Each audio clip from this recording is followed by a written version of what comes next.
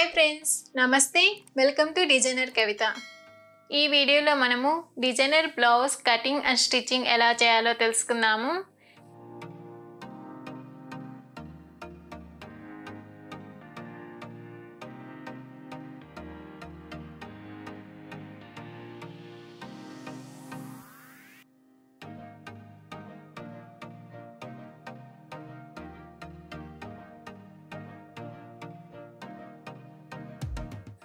ఈ మోడల్ బ్లౌజ్కి ఫస్ట్ మనం పేపర్ కటింగ్ చేసుకోవాలి. సింగిల్ ఫోల్డ్ మీద పేపర్ కటింగ్ చేసుకుంటే సరిపోతుంది.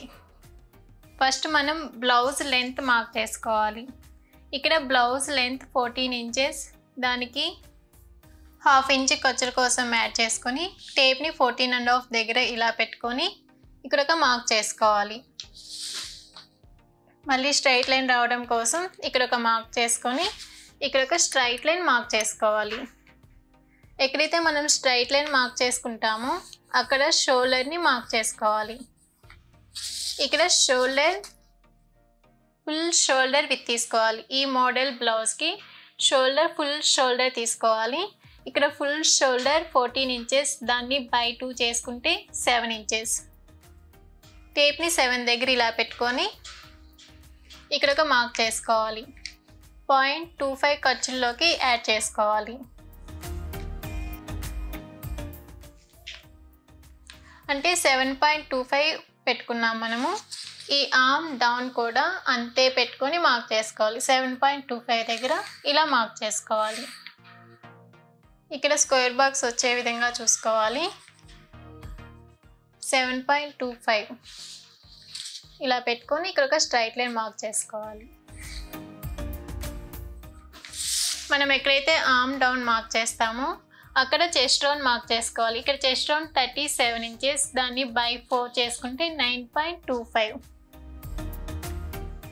టేప్ని నైన్ పాయింట్ టూ ఫైవ్ దగ్గర ఇలా పెట్టుకొని ఇక్కడ ఒక మార్క్ చేసుకోవాలి. వన్ అండ్ హాఫ్ ఇంచ్ ఖర్చుల కోసం యాడ్ చేసుకోవాలి. ఇలా మార్క్ చేసుకున్నాక ఆర్మ్ కర్వ్ స్కేల్ని యూజ్ చేసి ఈ పాయింట్ ఇక్కడికి ఇలా పెట్టుకొని ఈ లైన్కి టచ్ అయ్యే విధంగా ఇలా పెట్టుకొని ఆమ్ రౌండ్ షేప్ మార్క్ చేసుకోవాలి. ఇలా మార్క్ చేసుకున్నాక ఆమ్ రౌండ్ కరెక్ట్గా వచ్చిందా లేదా చెక్ చేసుకోవాలి. ఇక్కడ ఆమ్ రౌండ్ ఎయిటీన్ ఇంచెస్ దాన్ని బై టూ చేసుకుంటే నైన్ ఇంచెస్. షోల్డర్ వైపు పాయింట్ టూ ఫైవ్ ఈ arm side point two five. ఇక్కడ పాయింట్ టూ ఫైవ్ మాత్రమే ఖర్చుల్లోకి పెట్టుకోవాలి. ఎందుకంటే మనము బ్లౌజ్ లెంత్కి హాఫ్ ఇంచి మాత్రమే యాడ్ చేసుకున్నాం ఖర్చుల్లోకి అందుకని ఇటువైపున పాయింట్ టూ ఫైవ్ ఇటువైపున పాయింట్ టూ ఫైవ్ మాత్రమే పెట్టి మనం స్టిచ్ చేసుకోవాలి. అందుకని షోల్డర్ వైపు పాయింట్ టూ ఫైవ్ ఈ arm side point two five ఖర్చులకు వదిలేసి టేప్ని ఇలా మూవ్ చేస్తూ చెక్ చేసుకోవాలి. మనకి కరెక్ట్గా నైన్ ఇంచెస్ సరిపోయింది. తర్వాత వేస్ట్ రౌండ్ మార్క్ చేసుకోవాలి. ఇక్కడ వేస్ట్ రౌండ్ థర్టీ ఇంచెస్ దాన్ని బై ఫోర్ చేసుకుంటే సెవెన్ అండ్ హాఫ్ ఇంచ్ దానికి వన్ ఇంచ్ డాట్స్ కోసం మ్యాచ్ చేసుకోవాలి. అంటే ఎయిట్ అండ్ హాఫ్ ఇంచ్ టేప్ని ఎయిట్ అండ్ హాఫ్ దగ్గర ఇలా పెట్టుకొని ఇక్కడ ఒక మార్క్ చేసుకోవాలి. వన్ అండ్ హాఫ్ ఇంచ్ ఖర్చుల కోసం యాడ్ చేసుకోవాలి. ఇలా మార్క్ చేసుకున్నాక ఈ డాట్స్ని కలుపుతూ లైన్స్ మార్క్ చేసుకోవాలి. ఇలా మార్క్ చేసుకున్నాక ఈ ఖర్చుల వైపు హాఫ్ ఇంచ్ పైకి ఇలా మార్క్ చేసుకొని ఇక్కడ ఇలా స్ట్రైట్ లైన్ మార్క్ చేసుకోవాలి. ఇక్కడ డాట్స్ కోసము ఇక్కడ నుంచి ఇక్కడికి ఎంతైతే ఉందో దాన్ని బై టూ చేసుకుంటే ఎంతైతే వస్తుందో అక్కడికి ఇలా మార్క్ చేసుకొని మనం డాట్స్ కోసం వన్ ఇంచ్ యాడ్ చేసుకున్నాం కాబట్టి ఈ మార్క్ దగ్గర నుంచి హాఫ్ ఇంచ్ అవతల వైపుకి హాఫ్ ఇంచ్ అవతల వైపుకి ఇలా మార్క్ చేసుకొని ఇక్కడ డాట్స్ యొక్క లెంత్ అనేది త్రీ అండ్ హాఫ్ ఇంచ్ పైకి ఇలా మార్క్ చేసుకొని డాట్స్ పట్టుకోవాలి. ఇలా మార్క్ చేసుకున్నాక ఇక్కడ నుంచి టేప్ని ఇలా క్రాస్గా పెట్టుకొని లైన్ డ్రా చేసుకోవాలి. ఇలా మార్క్ చేసుకున్నాక ఇప్పుడు నెక్ విత్ మార్క్ చేసుకోవాలి. ఈ మోడల్ బ్లౌజ్కి నెక్ విత్ ఎలా మార్క్ చేసుకోవాలి అంటే ఇది full shoulder seven point two five పెట్టుకున్నాం కదా. దీన్ని బై టూ చేసుకుంటే ఎంతైతే వస్తుందో అంత నెక్ విత్ మార్క్ చేసుకోవాలి. అంటే ఇక్కడ మనకి నెక్ విత్ ఎంత వస్తుంది? త్రీ అండ్ హాఫ్ ఇంచ్ వస్తుంది. ఇలా మార్క్ చేసుకున్నాక బ్యాక్ నెక్ యొక్క డౌన్ అనేది త్రీ ఇంచెస్కి మార్క్ చేసుకోవాలి. ఏ సైజు వాళ్ళకైనా సరే ఇలా త్రీ ఇంచెస్కి మార్క్ చేసుకొని ఇక్కడ ఒక స్క్వేర్ బాక్స్ మార్క్ చేసుకొని బోట్ షేప్లో నెక్ డ్రా చేసుకోవాలి ఇక్కడ. ఇలా మార్క్ చేసుకున్నాక బ్యాక్ నెక్ మనకి మామూలుగా ఇక్కడ బ్యాక్ నెక్ అనేది నైన్ ఇంచెస్. ఇక్కడ నుంచి ఈ లైన్ దగ్గర నుంచి నైన్ ఇంచెస్ డౌన్కి మార్క్ చేసుకోవాలి. ఇక్కడ neck with three and half పెట్టాం కదా. ఇక్కడ కూడా నెక్ విత్ త్రీ అండ్ హాఫ్కి ఇలా మార్క్ చేసుకొని ఇక్కడ నుంచి ఇలా స్ట్రైట్గా పైకి లైన్ డ్రా చేసుకోవాలి. ఇలా డ్రా చేసుకున్నాక ఈ ఆర్మ్ డౌన్ దగ్గర నుంచి ఏ సైజు బ్లౌజ్ వాళ్ళకైనా సరే టూ ఇంచెస్ పైకి ఇలా మార్క్ చేసుకొని ఇక్కడ నుంచి ఇలా షేప్ డ్రా చేసుకోవాలి.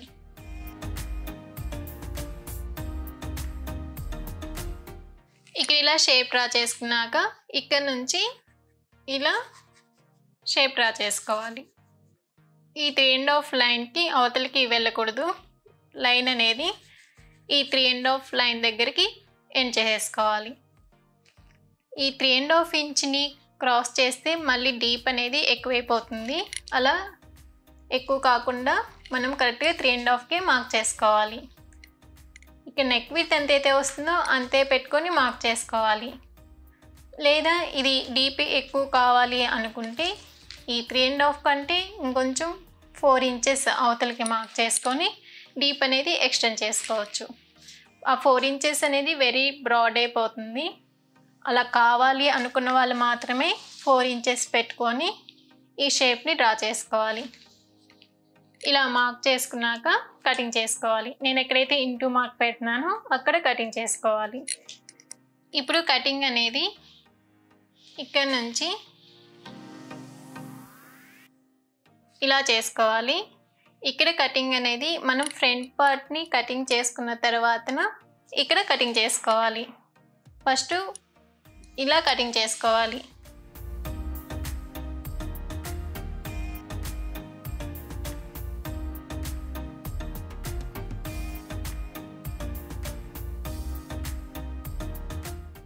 ఇలా కట్ చేసుకున్న పేపర్ని ఫస్ట్ లైనింగ్ క్లాత్ మీద పెట్టుకొని ఫ్రంట్ పార్ట్ మార్కింగ్ కోసము మార్క్ చేసుకోవాలి. తర్వాత ఇక్కడ కట్ చేసుకొని బ్యాక్ పార్ట్ లైనింగ్ కటింగ్ చేసుకోవాలి. ఇది బ్లౌజ్ యొక్క లైనింగ్ పీసు. దీన్ని డబుల్ ఫోల్డ్ మీద ఇలా ఫోల్డ్ చేసుకున్నాము. కట్ చేసుకున్న ఈ బ్యాక్ పార్ట్ని ఫ్రంట్ పార్ట్ మార్కింగ్ కోసము దీని ఇలా క్రాస్గా పెట్టుకొని దీన్ని ఇలా పెట్టుకొని అవుటర్ సైడ్స్ మార్క్ చేసుకోవాలి. ఇలా అవుటర్ సైడ్స్ మార్క్ చేసుకున్నాక ఈ పేపర్ని కటింగ్ చేసుకోవాలి. ఇక్కడ నుంచి ఇలా కట్ చేసుకోవాలి.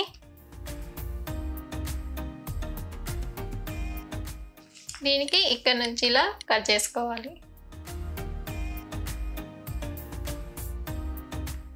కట్ చేసుకున్న ఈ పేపర్స్ని లైనింగ్ క్లాత్ మీద ఇలా పెట్టుకొని ఈ పేపర్ని ఇక్కడ ఇది ఫోల్డింగ్ సైడ్ కదా ఇక్కడ ఇలా పెట్టుకొని అవుటర్ సైడ్స్ మార్క్ చేసుకోవాలి. ఈ పేపర్ని మాత్రము ఇలా పెట్టుకొని ఈ రెండిటికి మధ్యలో హాఫ్ ఇంచి గ్యాప్ ఉండే విధంగా చూసుకొని ఇలా పెట్టుకొని అవుటర్ సైజ్ మార్క్ చేసుకోవాలి. ఇలా అవుటర్ సైజ్ మార్క్ చేసుకున్నాక ఇక్కడ మనకి లైన్ ఉంది కదా అక్కడికి ఇలా మార్క్ పెట్టుకోవాలి. ఖర్చుల దగ్గర ఒక మార్క్ పెట్టుకోవాలి. ఇలా మార్క్ చేసుకున్నాక ఈ పేపర్స్ని పక్కన పెట్టుకొని ఈ లైన్ దగ్గర నుంచి పైకి పాయింట్ టూ ఫైవ్ పైకి ఇలా మార్క్ చేసుకోవాలి. ఈ పాయింట్ టూ ఫైవ్ అనేది ఖర్చుల్లోకి మనం ఇలా మార్క్ చేసుకోవాలి. ఈ లైన్కి కూడా మనము పాయింట్ టూ ఫైవ్ ఖర్చుల్లోకి ఎక్స్ట్రా మార్క్ చేసుకోవాలి. ఇక్కడ కటింగ్ ఇలా చేసుకోవాలి.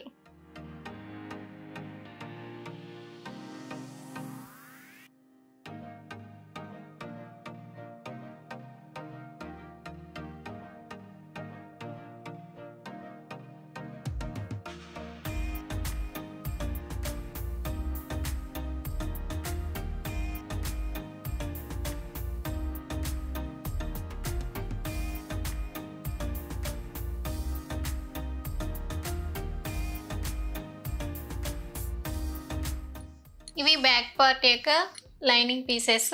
వీటిని పక్కన పెట్టుకోవాలి. ఇప్పుడు ఫ్రంట్ పార్ట్ మార్కింగ్ చేసుకోవాలి. ఇక్కడ ఫ్రంట్ పార్ట్ మార్కింగ్ అనేది మనం మామూలు బ్లౌజ్కి ఎలాగైతే మార్క్ చేసుకుంటామో అలాగే మార్క్ చేసుకోవాలి. ఇక్కడ front neck seven inches mark చేసుకొని షేప్ బెల్ట్ కోసము త్రీ ఇంచెస్ ఇది ఉక్సులు పట్టి కాజల పట్టి వైపు త్రీ ఇంచెస్ పైకి మార్క్ చేసుకోవాలి. ఇక్కడ వన్ ఇంచ్ ఇక్కడ టూ అండ్ హాఫ్ ఇంచ్ పైకి మార్క్ చేసుకొని షేప్ మార్క్ చేసుకోవాలి ఇటువైపున క్రాస్ కటింగ్ చేసుకోవాలి. ఇక్కడ ఫ్రంట్ నెక్ అనేది సెవెన్ ఇంచెస్ కదా ఇలా క్రాస్గా కాకుండా ఇలా సెవెన్ ఇంచెస్కి స్ట్రైట్గా లైన్ డ్రా చేసుకొని ఇక్కడ ఒక స్ట్రైట్ లైన్ మార్క్ చేసుకొని ఇలా ఫ్రంట్ నెక్ షేప్ మార్క్ చేసుకోవాలి. ఇక్కడ ఆర్మ్ సైడ్ వన్ ఇంచి లోపలికి క్రాస్లు మార్క్ చేసుకోవాలి. ఇక్కడ నెక్ విత్ అనేది మనకి త్రీ అండ్ హాఫ్ వచ్చింది కదా బాటమ్ సైడ్ త్రీ ఇంచెస్ పెట్టుకొని ఇలా ఫ్రంట్ నెక్ షేప్ మార్క్ చేసుకోవాలి. ఇటువైపు ఉక్సులు పట్టి కాజాలు పట్టి కాబట్టి త్రీ ఇంచెస్ పైకి మార్క్ చేసుకోవాలి.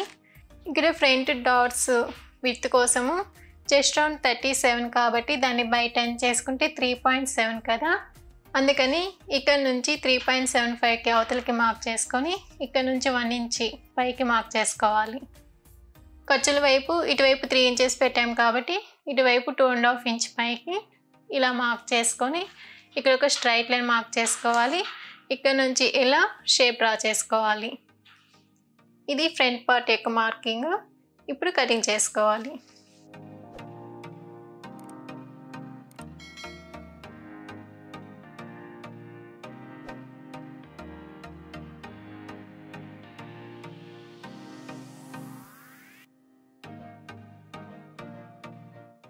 కట్ చేసుకున్న ఈ లైనింగ్ పీసెస్ని మెయిన్ ఫ్యాబ్రిక్ మీద పెట్టుకొని కటింగ్ చేసుకోవాలి. ఫస్ట్ ఈ పై పార్ట్ యొక్క లైనింగ్ పీసెస్ని ఇలా పెట్టుకొని ఇటువైపున పైపింగ్ స్టిచ్ చేసుకోవాలి. ఈ పైపింగ్ థ్రెడ్ని ఇలా పెట్టుకొని ఇటువైపున స్టిచ్ చేసుకోవాలి. ఇటువైపున కూడా స్టిచ్ చేసుకోవాలి. ఇలా స్టిచ్ చేసుకున్నాక ఈ లైనింగ్ క్లాత్ని మెయిన్ ఫ్యాబ్రిక్ మీద ఇలా పెట్టుకోవాలి. ఈ పైపింగ్ థ్రెడ్ రెండిటికి మిడిల్లో వచ్చే విధంగా చూసుకోవాలి. ఇలా పెట్టుకొని మనం ఎక్కడైతే స్టిచ్ వేసామో అక్కడ స్టిచ్ చేసుకోవాలి. ఇటువైపును కూడా అలాగే పైపింగ్ థ్రెడ్ అంచున స్టిచ్ చేసుకోవాలి. ఇలా స్టిచ్ చేసుకున్నాక ఇటువైపు ఉన్న ఎక్స్ట్రా క్లాత్ని కట్ చేసుకొని ఈ నెక్ మొత్తం స్మాల్ స్మాల్ డాట్స్గా కట్ చేసుకోవాలి.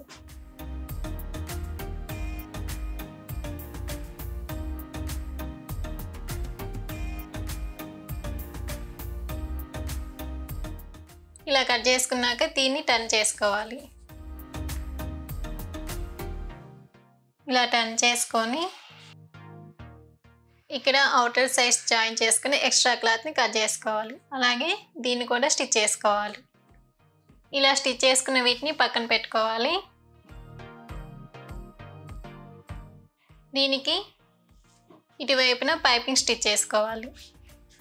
ఇలా పైపింగ్ స్టిచ్ చేసుకున్నాక దీన్ని ఇలా టర్న్ చేసుకొని ఈ పైపింగ్ ఎక్కడైతే స్టిచ్ చేసామో కుట్టు కనిపిస్తుంది కదా అక్కడ మళ్ళీ స్టిచ్ చేసుకోవాలి. అంటే ఈ క్లాత్కి లైనింగ్ క్లాత్కి మిడిల్లో పైపింగ్ వచ్చే విధంగా చూసుకొని స్టిచ్ చేసుకోవాలి. ఇలా స్టిచ్ చేసుకున్నాక ఇక్కడ ఉన్న ఎక్స్ట్రా క్లాత్ని కట్ చేసుకొని ఈ నెక్ మొత్తం స్మాల్ స్మాల్ డాట్స్గా కట్ చేసుకోవాలి.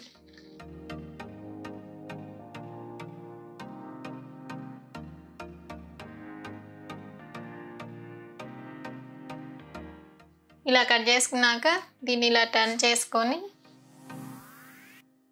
అవుటర్ సైడ్స్ జాయిన్ చేసుకుని ఎక్స్ట్రా క్లాత్ని కట్ చేసుకోవాలి. ఇలా స్టిచ్ చేసుకున్నాక వీటికి ఇటు సైడ్ ఓవర్లాక్ చేసుకోవాలి. టూ సైడ్స్ దీన్ని పాయింట్ టూ ఫైవ్ ఖర్చులకి ఇలా పెట్టుకొని ఇక్కడ స్టిచ్ చేసుకోవాలి. ఇటువైపుని కూడా ఇలా పెట్టుకొని స్టిచ్ చేసుకోవాలి.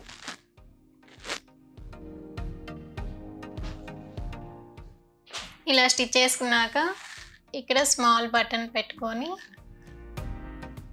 ఇక్కడ ఇలా స్టిచ్ చేసుకున్నాము అంటే బ్లౌజ్ స్టిచ్ చేసుకోవడం ఫినిష్ అయిపోతుంది.